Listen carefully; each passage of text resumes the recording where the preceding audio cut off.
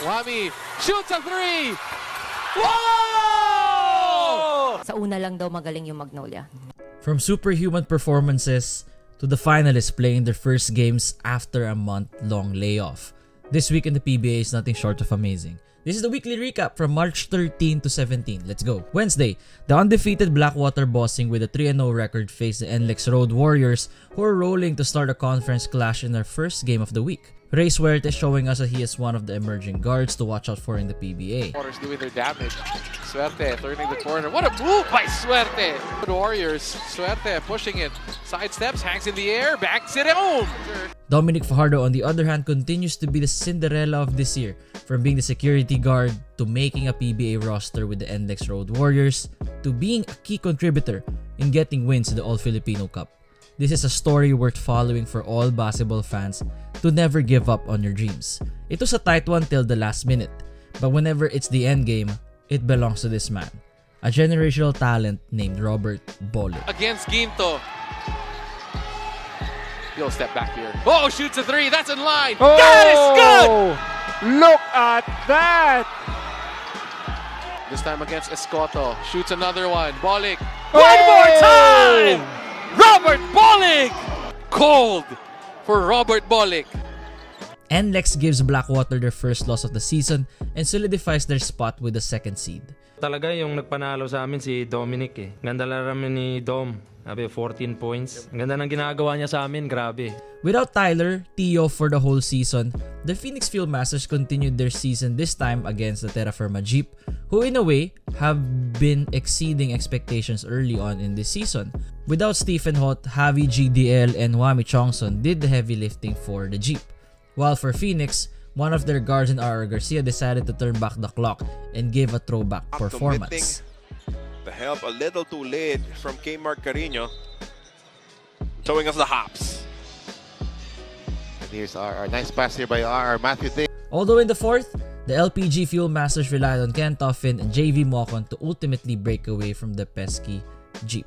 94-78 is the final tally in favor of Phoenix. They get win number one. Friday, we got the defending champs in the building playing their first game against the Rain or Shine Elasto Painters who do not have Keith Dutt who strained his MCL.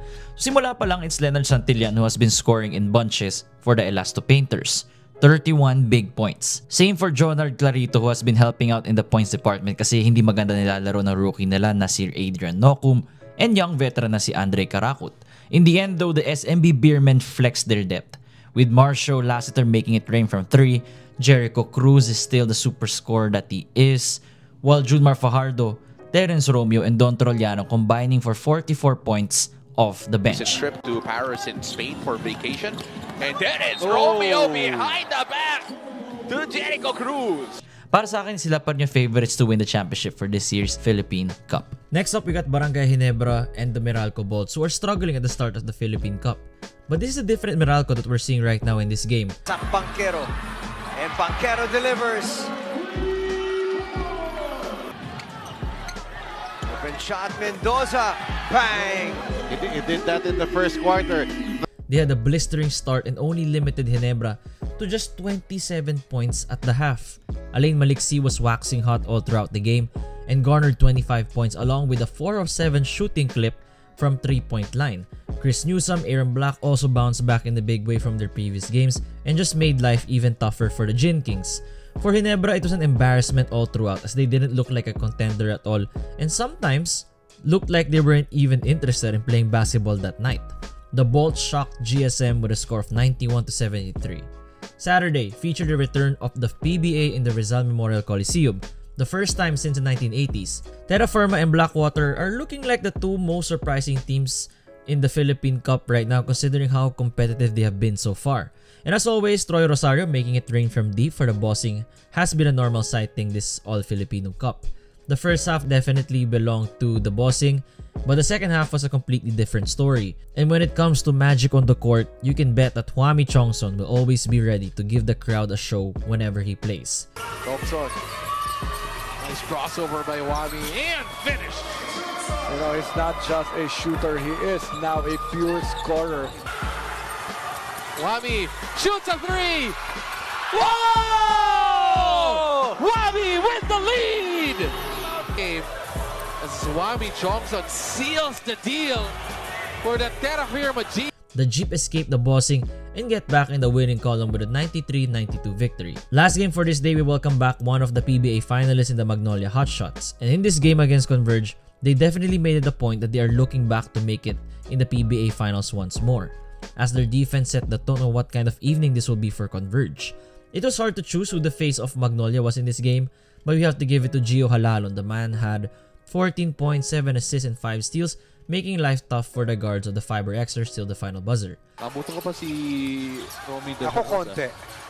Yeah, I, I watched. I was able to watch. I think uh, Gio Lalon scoring there. Yeah, I was able to watch, and I remember.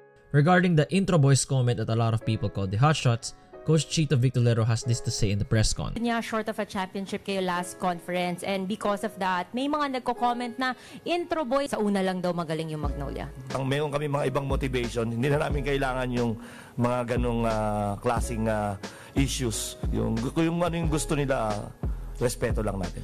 Sunday, the 0-4 rain or shine Lasso Painters going up against a Phoenix Fuel Masters team without their two best players in Jason Perkins and Tyler Tio. Knowing that, Ricci Rivero was the one doing the heavy lifting for the Fuel Masters with moves more like than five this. minutes of rest. Especially with opportunities like this. It's about the three-point opportunities. Now, Richie, look at this.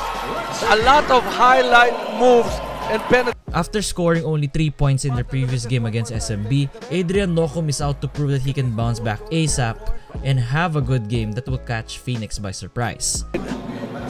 You, you know, Adrian Nocum is really challenged when he sees Richie Rivero, partner. He ends the evening with 28 points, 7 rebounds, 6 assists, and 5 3-pointers looking like an established star already in the PBA. Big Bo Belga and Jonathan Clarito also helped out in the scoring column as they ultimately pulled away from the pesky Fuel Masters with a score of 100 to 85. The main event for the Sunday doubleheader is the undefeated San Miguel Beermen against the TNT Tropang Giga. Sa simula pala ng laro na to, SMB wanted to make a statement and be the first one to strike.